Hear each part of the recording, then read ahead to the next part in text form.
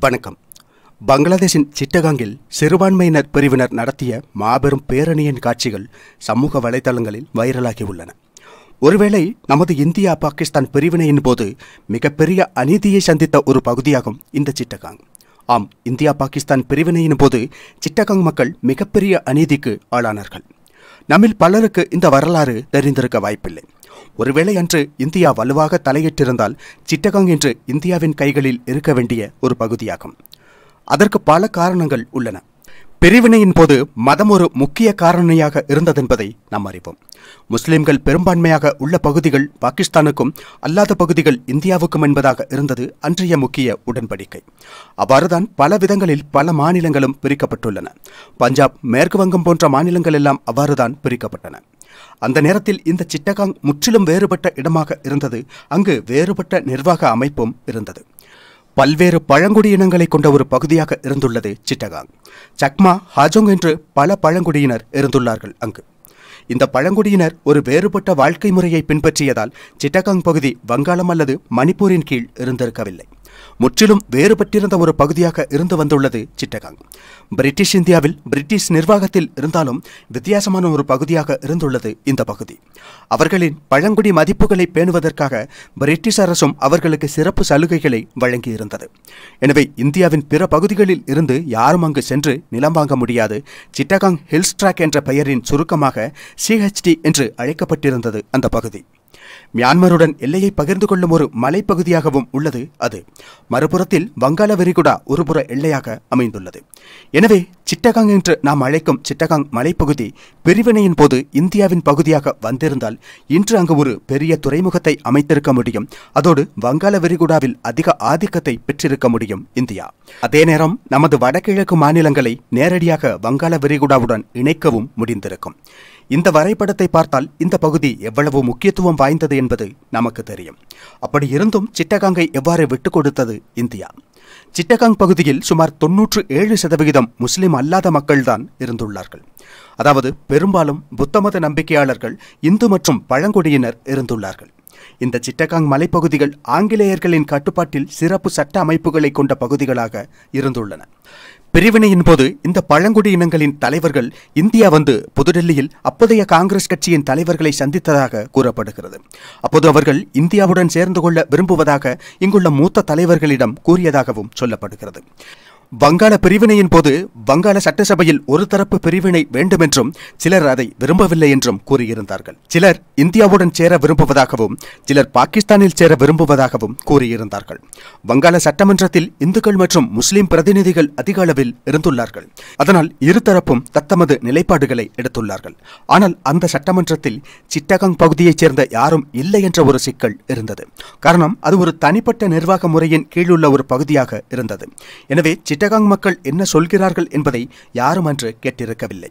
ஆனால் அங்கு கிழக்கு பாகிஸ்தான் உருவான போது கல்கத்தா வேண்டுமென்று கேட்டிருந்தது பாகிஸ்தான். அன்று கல்கத்தா மிகப்பெரிய நகரமாகவும் அன்றைய முக்கியமான நகரங்களில் ஒன்றாகவும் இருந்தது. அதனால் கல்கத்தாவை கொடுக்க முடியாது என்ற நிலைப்பாட்டை இந்தியா எடுத்தது. அதேபோல பஞ்சாபை பிரித்ததிலும் பாகிஸ்தான் தலைவர்கள் திருப்தி அடைந்திருக்கவில்லை. அவ்வாறு வங்காளம் மற்றும் பஞ்சாப் பிரிவினையில் பாகிஸ்தான் அதிருப்தி அடைந்திருந்தது. அதனால் துறைமுகம் மற்றும் சில முக்கியமான முக்கியத்துவம் உள்ள சிட்டகாங்கை பாகிஸ்தான் பாகிஸ்தானுக்கு கொடுக்க முடிவு செய்தனர் பிரிட்டிஷார். பிரிட்டிஷாரே கூட முன்வைத்திருந்த ஒரு கருத்துதான் மத ரீதியிலான பிரிவினை என்பது. அதன்படி பார்த்தால் சிட்டகாங் எக்காரணம் கொண்டும் பாகிஸ்தானுடன் சேர்ந்திருக்க கூடாது.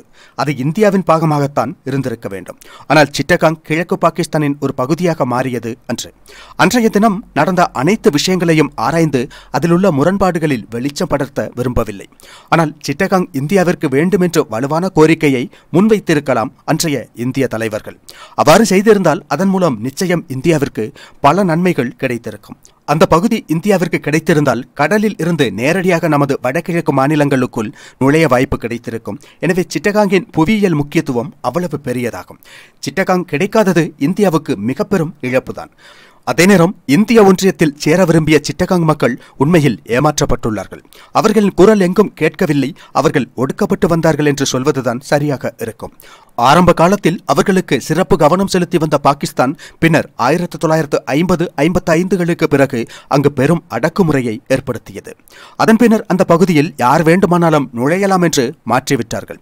இதற்கிடையில் அன்றைய கிழக்கு பாகிஸ்தான் இன்றைய வங்காளதேசத்தில் எதிர்ப்புகளும் போராட்டங்களும் நடக்கத் தொடங்கின.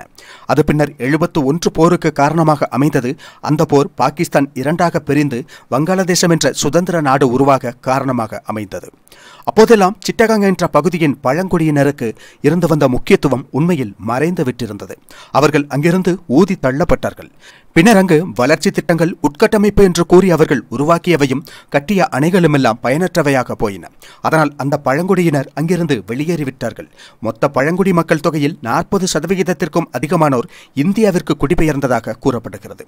சக்மா ஹஜோங் உட்பட உள்ள பழங்குடியினர் நமது வடகிழக்கு மாநிலங்களுக்கு பெருமளவில் குடிபெயர்ந்தார்கள். இந்த சக்மாக்களின் பெரும்பாலானவர்கள் அருணாச்சல் பிரதேசத்தில் வாழ்ந்தாலும் அவர்கள் புத்தமத நம்பிக்கையாளர்களாக இருக்கிறார்கள். அவர்களெல்லாம் மிசோரமின் லுஷாய் மலைகள் வழியாக இந்தியாவை அடைந்தார்கள் என்று கூறப்படுகிறது. இந்த ஹஜோங்கள் இந்துக்கள் என்று கூறப்படுகிறது. எனவே அவர்கள் இந்தியாவுக்கு வந்தடைந்தார்கள். பின்னர் இரண்டாயிரத்து பதினேழில் அவர்களுக்கு இந்தியா குடியுரிமை வழங்கும் என்று கூறப்பட்டிருந்தது. அவர்களின் குடியுரிமை பற்றிய விவாதமே இரண்டாயிரத்து பதினேழில் தான் வருகிறது. அதுவரை அவர்கள் இங்கு அகதிகளாகத்தான் தங்கியிருந்தார்கள். எனவே இந்த சக்மாக்கள் அங்கு அழிக்கப்பட்டுள்ளார்கள் என்பது தெளிவாகிறது இதிலிருந்தே. ஆனால் இப்போதும் அங்கு மிக குறைந்த அளவில் சக்மா உள்ளிட்ட பிரிவினர் உள்ளார்கள். எனவே இந்த சிட்டகாங்கை பெறாமல் விட்டது இந்தியாவிற்கு ஒரு பெரும் இழப்பாகும். ஒருபோதும் ஈடுகட்ட முடியாத ஒரு இழப்பு. புவியியல் ரீதியாக நமது வடகிழக்கு மாநிலங்களுக்காக இந்த சிட்டகாங் இந்தியாவிற்கு மிக அவசியமான ஒன்றாகும். வங்கதேசத்திற்கு அதாவது அன்றைய பாகிஸ்தானுக்கு சிட்டகாங் இல்லாவிட்டாலும் வங்கக்கடல் பகுதியில் எல்லை இருந்தது. எனவே வேறொரு துறைமுகத்தை அவர்கள் உருவாக்கி எடுத்திருக்கலாம்.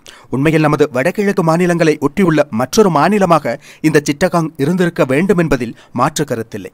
வடகிழக்கு மாநிலங்கள் இந்தியாவின் ஒரு பகுதியாக மாறியதைப் போலவே சிட்டகாங்கும் இந்தியாவிற்கு சொந்தமானதாக வந்திருக்க வேண்டும். ஆனால் கொல்கத்தா வேண்டும் என்று கேட்ட கிழக்கு பாகிஸ்தானின் கோரிக்கையை இந்தியா ஏற்கவில்லை. இந்திய தலைவர்கள் முற்றிலும் அது முடியாது என்று கூறிவிட்டிருந்தார்கள். அதனால் தான் அவர்கள் விரக்தி அடைந்தார்கள். அவர்களை திருப்திப்படுத்துவதற்காக ஆங்கிலேயர்கள் சிட்டகாங்கை கொடுத்து அங்குள்ள மக்களுக்கு துரோகம் செய்துவிட்டார்கள் எக்காரணம் கொண்டும் வங்கதேசத்திற்கு கொடுக்க வேண்டிய பகுதி அல்ல அது.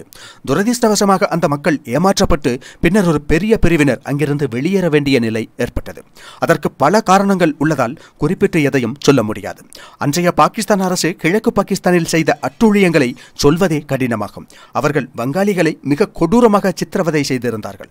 அதன் பாகமாக இயற்கையாகவே அவர்கள் சிட்டகாங் மக்களையும் அப்படித்தான் நடத்தியிருக்க வேண்டும். அறுபத்து நான்கு முதல் அங்கிருந்து இந்தியாவுக்கு இடம்பெயர்ந்துள்ளார்கள் என்று சொல்லும்போதே நம்மால் யூகிக்க முடியும் காரணம் என்னவாக இருக்கும் என்று அவர்கள் பழங்காலத்திலிருந்தே வாழ்ந்து வந்த பழங்குடியினர் ஆவர். அந்த மக்களின் வாழ்க்கை சூழ்நிலை எல்லாவற்றையும் மாற்றி அவர்களின் வாழ்க்கையையும் கல கலாச்சாரத்தையும் கூட மாற்றிவிட்டார்கள் என்பது கவனத்தில் கொள்ள வேண்டிய விஷயமாகும். என்னவானாலும் சிட்டகாங்கை பெறாமல் விட்டது ஒரு பெரிய தவறு என்பது இன்றைய சூழலிலும் தெளிவாகிறது.